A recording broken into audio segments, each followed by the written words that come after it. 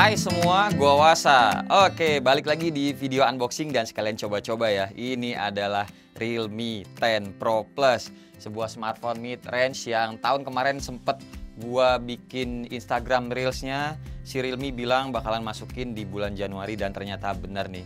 Pertengahan Januari ini handphone bakalan launching. Dan ini adalah mid range dengan key point sellingnya yang paling utama banget adalah di desainnya guys karena handphone ini tuh layarnya melengkung. Layaknya handphone-handphone flagship.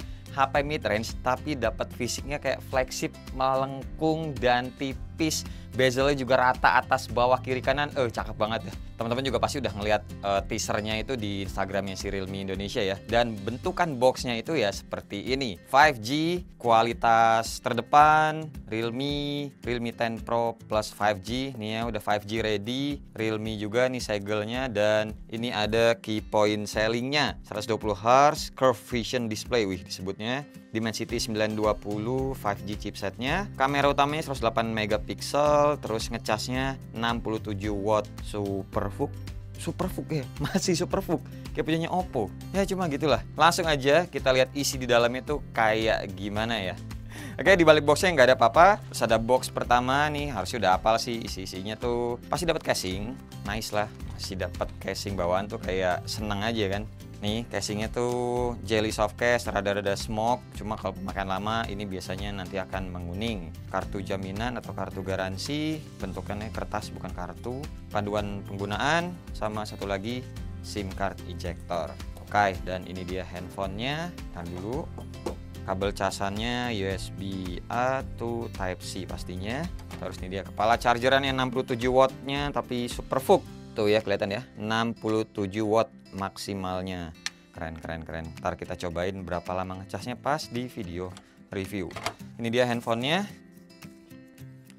Nah kayak begini ya desainnya tuh kalau warnanya ini disebut sama Realme adalah hyperspace. Ini bentar gue lepas dulu biar cakep makin kelihatan ya. Dan ini tuh yang ada garis-garis sama ada lensa uh, frame. Frame kameranya ada dua gini si Realme tuh menyebutnya tuh klasik twin lens reflect gitu. Dan emang bagus sih kayak apa ya? Kayak semua garis-garisnya tuh menuju ke sini gitu ya guys. Terus ini handphone juga enteng banget tipis banget. Tipisnya itu nggak nyampe 8 mm terus beratnya juga 175 gram aja. Anjay ini bener loh. Ini teman-teman kalau megang begini ya nggak berasa ini handphone mid range sih. Swear dah terus bezelnya ini nanti akan uh, gua kasih lihat setipis apa. Tapi sementara itu kita masih bahas uh, fisiknya ya. Ini juga masih dapat anti gores bawaan terus juga oh speakernya stereo. Kelihatan earpiece-nya dan ini speaker atasnya nih mic tombol volume sama power. Di bawah juga speaker lagi type C mic sama ini uh, slot SIM card.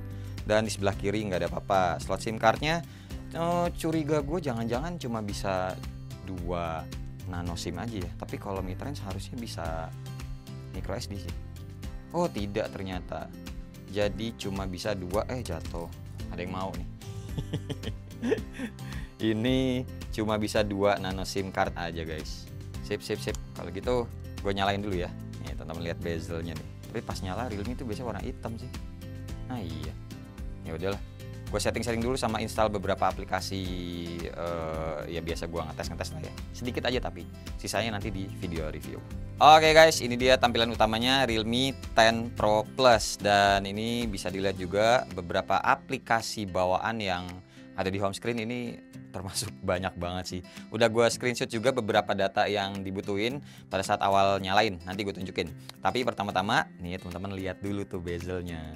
Perhatiin tuh atas bawah kiri kanan setipis apa dan semuanya rata coy. Ratanya nggak nggak kanan kiri rata sih cuma kalau ngelihat ini bagian bawah sama atasnya tuh sama kiri sama kanan. Yang lebih tipisnya juga ah udah pokoknya cakep lah ini. Mana speakernya stereo juga lagi ya. Tar kita coba main real drum aja. Oke lanjut sekarang ke bagian settingnya dulu. Gue mau tunjukin ke teman-teman about device nya ini bisa dilihat Realme UI nya udah 4.0 terus juga untuk Android nya Android versi 13 RAM-nya ini yang gue pegang 12 GB yang kita bisa tambahin lagi atau di expand lagi sampai 12 GB juga. Jadi totalnya uh, 24 GB. Wow. Kamera depan 16 megapiksel, belakang 108 tambah 8 tambah 2. Aduh, 2 megapiksel seharusnya nggak usah ada ya. cuma ya sudahlah. Ini aslinya kalau teman-teman perhatiin, walaupun cuma ada dua uh, frame kameranya, aslinya ada tiga lensa kok ini yang di atas dia sendirian, sepertinya ini yang lensa utamanya 108 megapikselnya, terus ini yang 8 sama 2 megapikselnya ada di frame kamera yang di bawah sini. Ya, jadi kelihatannya kayak cuma dua, padahal aslinya kamera belakangnya ada tiga. Total ada empat kamera termasuk kamera yang depan, punch hole seperti ini di tengah-tengah. Dah, nih data-datanya aja yang mau gue tunjukin ke teman-teman ya. Tadi udah sempat gue screenshot. Kita mulai dari memori awal pas pertama nyalain sisanya berapa. Oke, ini dia ada 24 1,3 GB yang terpakai. Jadi sisanya masih banyak ya. Terus untuk aplikasinya yang pada saat pertama kali nyalain mau diinstal ada lumayan banyak guys. 47. Jadi mendingan teman-teman nyari WiFi aja. Lanjut lagi kalau soal iklannya suka muncul pada saat kita nginstal-nginstal aplikasi atau pada saat nge-update aplikasi. Cuma tidak selalu ada. Ini kan ada, tadi juga ada nih ya. Terus ini juga ada, ini ada, ada kalanya dia nggak ada. Tapi habis itu ada lagi, ada lagi dan ada lagi juga. Cuma ya random gitu sih. Pada saat nginstal aplikasi aja nggak pas lagi ngapa-ngapain tiba-tiba ada iklan gitu pas main Facebook, pas main WA kayak gitu-gitu nggak sih, nggak ada iklannya. Oke, cobain abis ini main real drum kali ya. Woi, woi, woi. Uh, speakernya ternyata udah full, bisa ditambahin lagi. Jadi 200% guys ah dia dia agak-agak delay sedikit sih nih ya. Samain sama ketukan suara ketukan di meja harusnya barengan kan?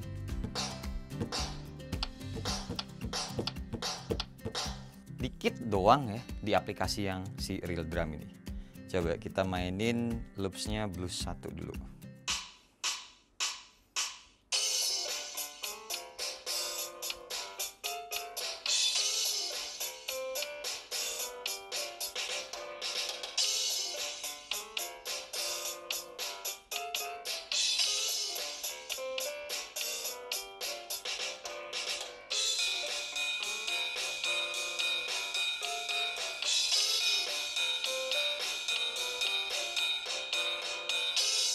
Oke lah, walaupun agak delay sedikit, hitungannya masih bisa dimainin. Tapi gue mau ngasih tahu ke teman-teman yang speaker stereo ini loh. Ini gue tutup yang atas ya. Yang di atas itu suaranya lebih kecil ketimbang yang bawahnya. Jaraknya sama nih ke mic gue. Yang bawah, ini yang atas. Kedengeran ya bedanya ya intinya asik. Nextnya gue mau coba nanti beberapa game kayak biasa gue tes ya. Terus ini buat hasil contoh foto sama videonya ringkas saja seperti ini.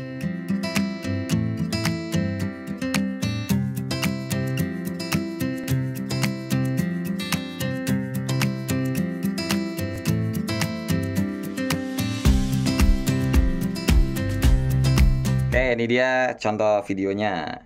Ya, asal aja dulu yang penting kayak begini. Eh rambut gua udah kepanjangan nih masih dipotong.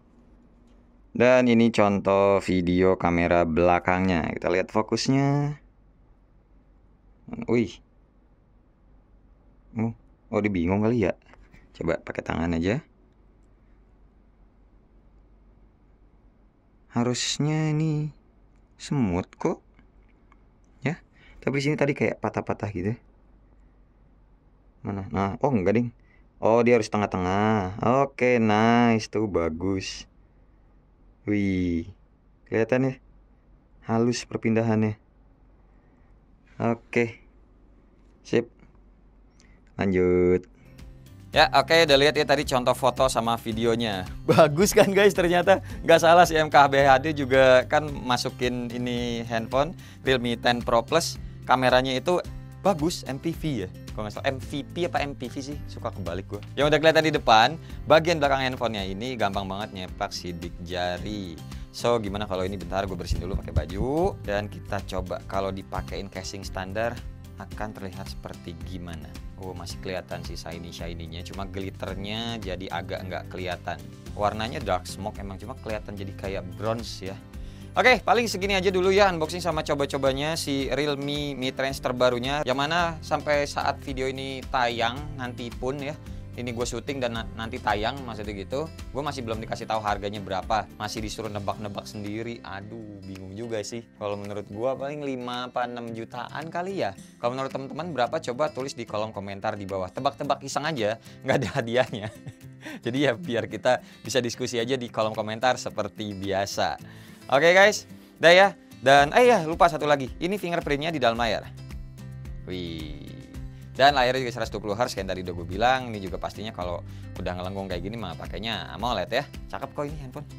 Udah lah, kita tunggu aja harganya berapa sama video reviewnya nanti akan menyusul setelah video yang unboxing ini udah tayang duluan gitu ya guys. Terima kasih pokoknya buat teman-teman yang udah nonton dari awal sampai akhir dan seperti biasa nggak usah di like nggak usah di share dan nggak usah juga di subscribe channel ini kalau tidak bermanfaat. Tapi kalau bermanfaat silakan share juga dong ya teman-teman. Siapa tahu nambah pahala. Sampai ketemu di video selanjutnya. Bye bye Cheers.